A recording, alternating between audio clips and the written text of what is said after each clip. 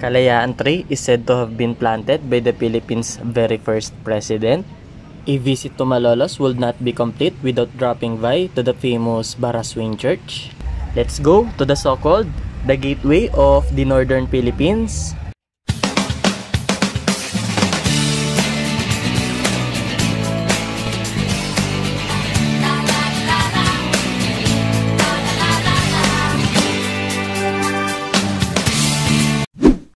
What's up guys? Biyahing Bulacan tayo. And we are going to the Bulacan's capital, the city of Malolos. Let's go!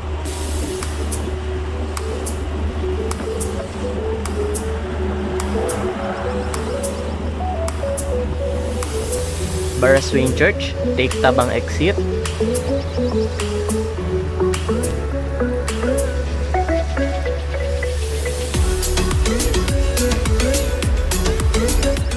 Mga biyahero, ang bayan ng Malolos ay matatagpuan sa probinsya ng Bulacan. And Bulacan is popularly known as the gateway to the northern Philippines dahil dito ang daan patungong norte. The province name is derived from the Tagalog word bulak, meaning cotton, which was its former provincial product. And here you will find the best chicharon in the Philippines. Wow! Ang bayan ng Malolos ay nasa kanlurang bahagi ng Bulacan. And there are so many historical spots here, like Malolos Cathedral, Malolos Water District, Casa Real Shrine, Old Malolos City Hall, Tampoy Bridge, and the last but not the least, the famous Baraswing Church. Wow! We are here now, touchdown, at Malolos City, Bulacan. Yeah! Alright, our first stop is the Malolos Cathedral. During the historical war, the bell was topped with triangular cone and now it is replaced by the statue of the Immaculate Conception. As said by the elders, if it is your first time on a church, you've got to make a wish.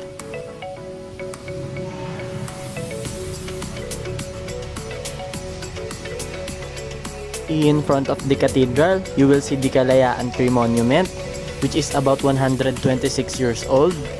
The Kalayaan tree is said to have been planted by Emilio Aguinaldo himself, the very first president of the Philippines. It may look like just an ordinary tree, but it's the history associated with it that counts.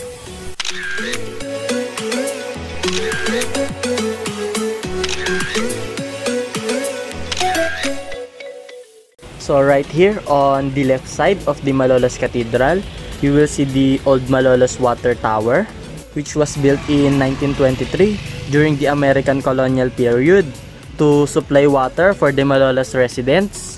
And it is now under the National Commission for Culture and Arts in preserving the historical tower. Alright guys, we are on our way to the public market to buy some chicharon, which is the famous here in Bulacan.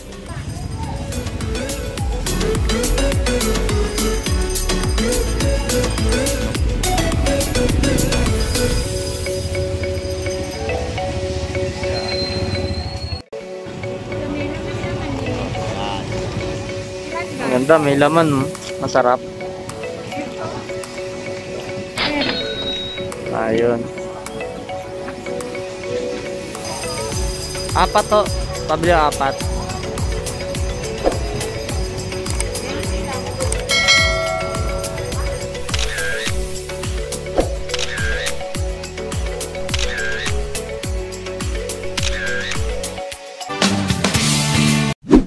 So guys, in front of Malolos Cathedral is the old Malolos City Hall.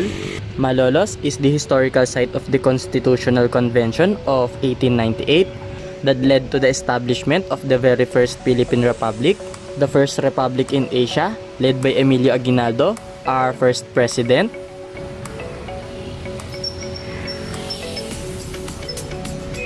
At the back of the City Hall is the Tampoy River. Alright, let's go to the Tampoy Bridge. Let's go! Back in the old days, ang Ilog Tampoy ang naging daungan ng mga inaangkat at inululuwas na kalakal na nakakapag-ambag sa pag-unlad ng bayan noong panahon ng Kastila. So, ayun, nandito na tayo sa Tampoy Bridge.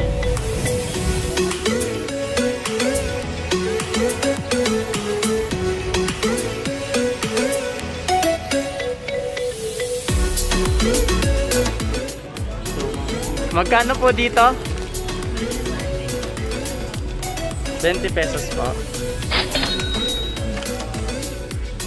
Pabili po lima.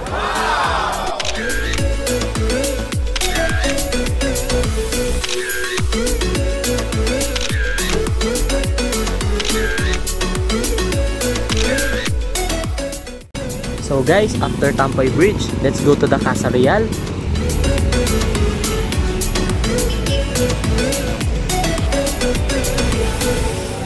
Also known as Museo Pampolitika ng Pilipinas. So let's go inside. So this is the Imperial Press. So you know why may ganito dito? Because Casa Real served as the office of the National Printing Press of the revolutionary government. And now it is served as a national museum. Ang Kalakalangal yon, ang Interpacifico na nag-uugnay sa ibang bahagi ng Asia tungo sa bagong daigdig. Here at the second floor, makikita ang unang yugto ng himagsikan. So there is a life-size statue. It looks like real but medyo creepy.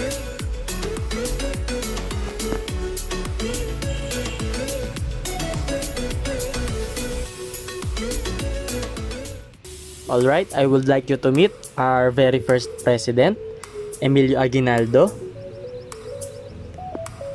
The second is President Manuel L. Quezon. The third is President Jose P. Laurel. Fourth is President Sergio Osmeña.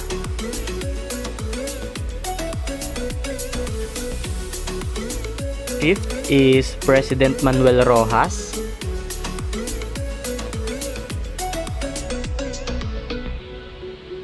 Sixth is President Elpidio Quirino.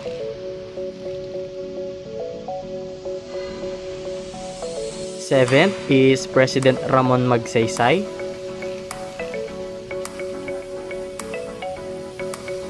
Eighth is President Carlo P. Garcia.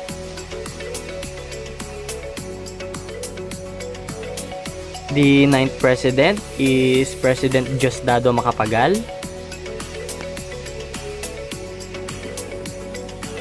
Our tenth is President Ferdinand Marcos. And our first female president, President Corazon Cuanco Aquino.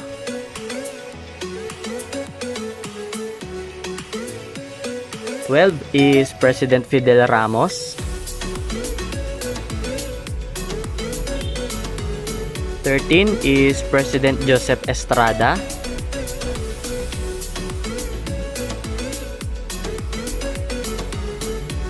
Fourteenth is PGMA, Pangulong Gloria Macapagal Arroyo.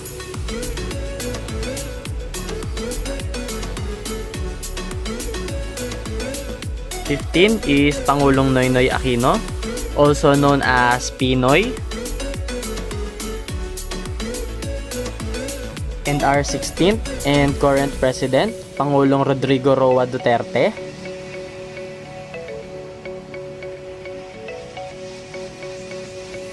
And today, June 19, 2021, ay ang ika-160th birthday ng ating pambansang bayani na si Dr. Jose Rizal.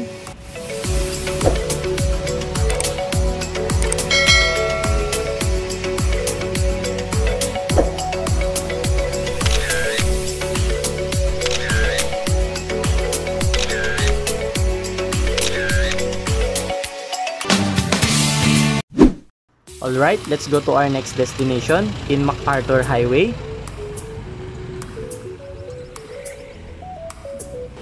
So here, what's new in Malolos? You can clearly see it here in the outside. Ang usap-usapan na private plane dito sa Malolos. So the owner of this plane is the restaurant here. The Cassis Restaurant Some says na it will use for dine-in inside the plane.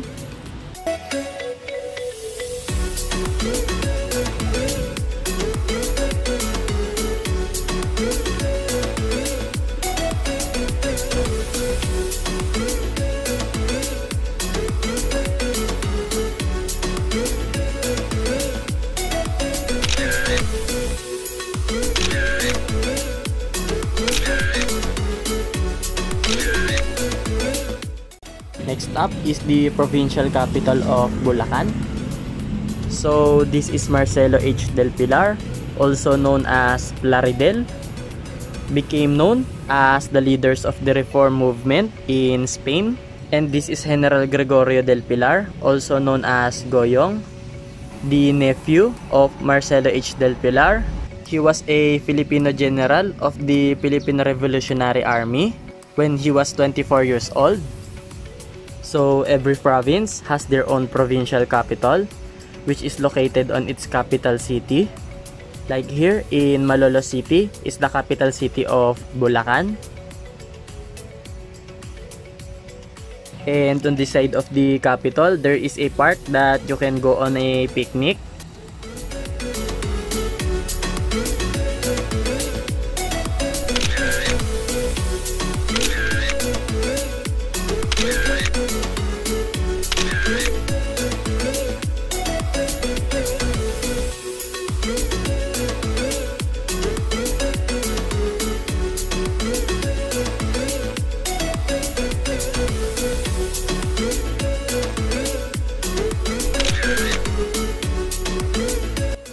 Alright guys, down to our main event, the Baraswain Church.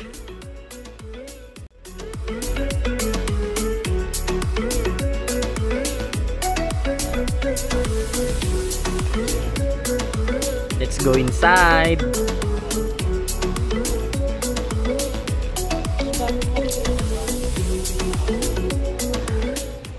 Inside the Baraswain Church, there is a small park Sometimes it is used as a prenup location for weddings.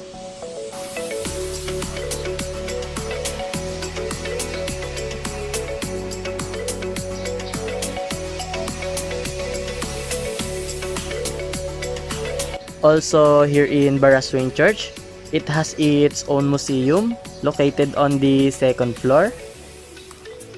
Let's check it out. So right here is the church old bells, replaced from its bell tower from decades. And some of it has cracks. Watawat ng kalayaan.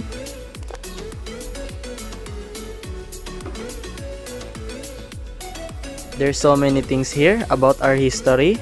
It's good for the kids or even us to learn or to know about our history. Here is the miniature of the Baraswain Church.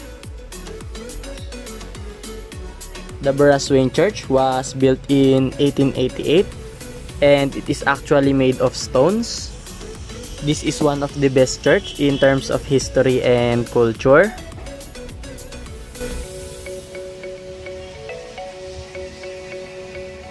It is also good for pictorials because of its historical value. Alright, another addition for my collection. The Baraswain Church Ref Magnet. Alright guys, you already know. It's time for KSTJ.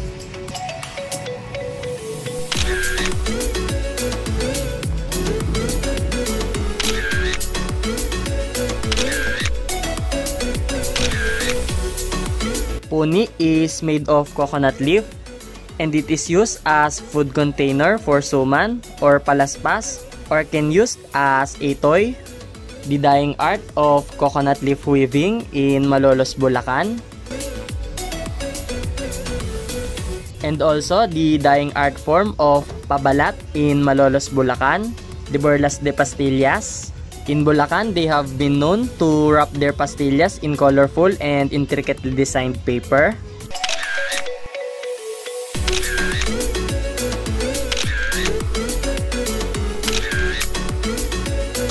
Kaya tara na pumarine sa Malolos, Bulacan for a historical travel.